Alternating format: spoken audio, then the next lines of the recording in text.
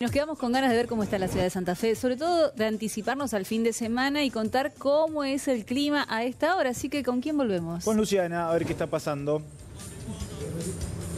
Bueno, estamos aquí en lo que es la costanera oeste. Detrás mío está la típica postal santafesina con nuestro puente colgante. Actualmente tenemos 13 grados aquí en la ciudad. Ya no hace el frío del comienzo de la jornada, hay una temperatura sumamente agradable. Ahí van a poder estar observando lo que es nuestra laguna Setúbal. El sol está escondido detrás de las nubes. Todavía no se ha animado a salir. Quizás lo haga durante la jornada en la cual se espera que la temperatura máxima alcance los 18 grados. También se espera buen clima para el fin de semana, pero las temperaturas un tanto bajas. No van a superar, la máxima no va a estar eh, superando lo que son los 20 grados. Así que un fin de semana fresquito y también vemos a la gente que aprovecha para caminar por este tradicional lugar, para salir a caminar, para salir a hacer ejercicio, para despejarse un ratito ante esta hermosa vista que tenemos. Hay bastante tránsito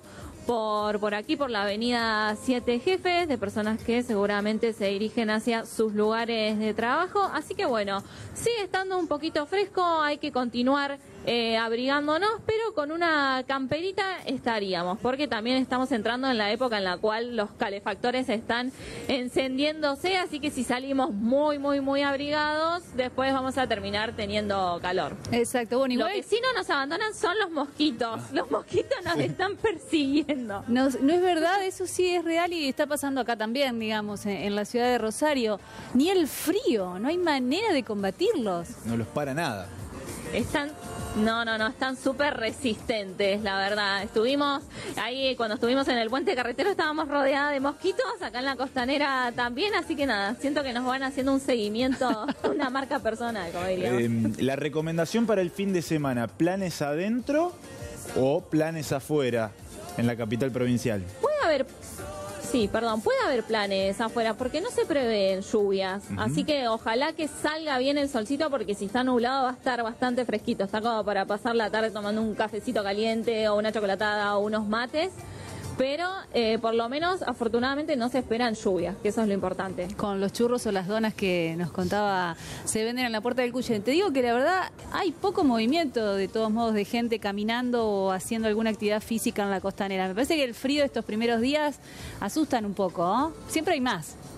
Exactamente, sí, sí, podés elegir entre salir a caminar y quedarte en la cama calentito y me parece que vamos tirando más para ese lado. Pero bueno, hay algunos valientes, hay, hay algunos valientes que están caminando allá a lo lejos, claro, pero el señor ahí de buzo rojo, pero poquitos, los contamos con los dedos de la mano. y para salir a correr, hacer actividad física, sí.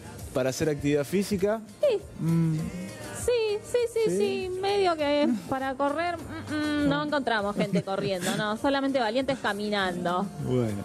Recién igual vimos que había pasado una chica que estaba corriendo, pero también era una sola, después solamente gente caminando.